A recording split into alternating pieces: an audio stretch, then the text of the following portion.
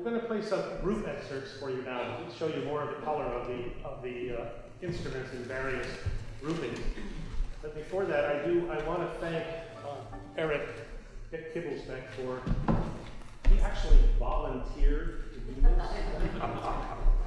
and not only that, every player on the stage volunteered to do this. We've been rehearsing all summer on Monday nights. And Monday nights have just become a joy in my life. So you guys, thanks so much.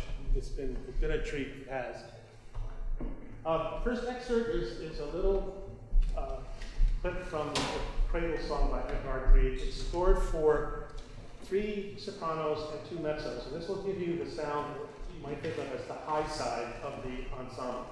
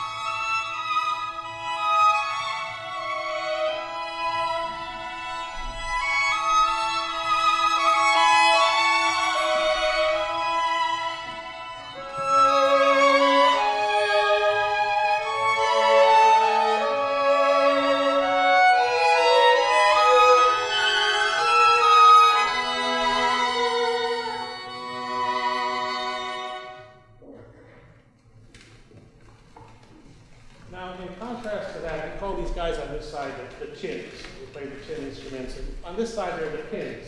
They play on the pin instruments. And uh, I arranged a, a, a, little bit from, from the Gershwin lullaby for tenors, baritones, the small bass, and the contrabass.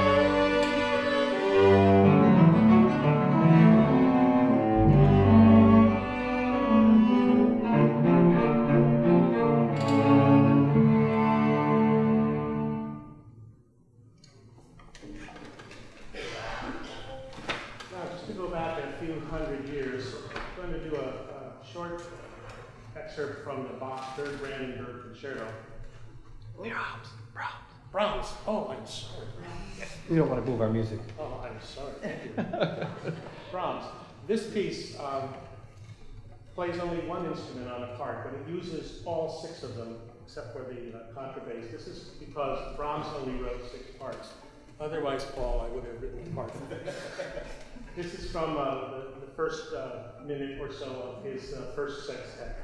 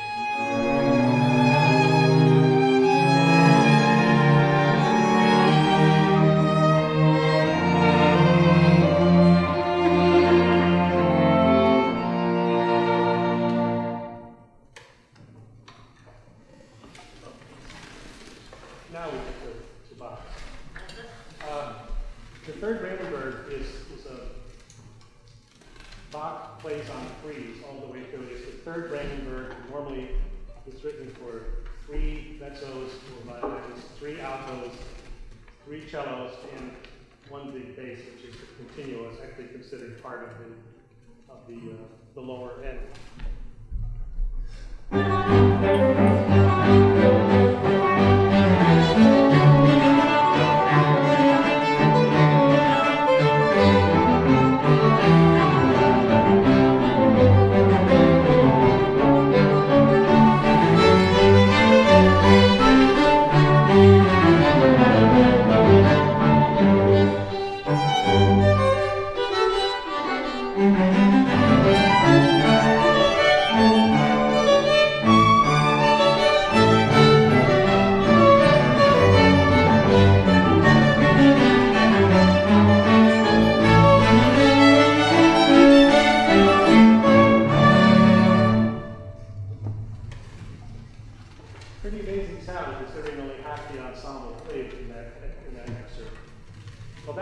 That the, the introductory portion of tonight's program.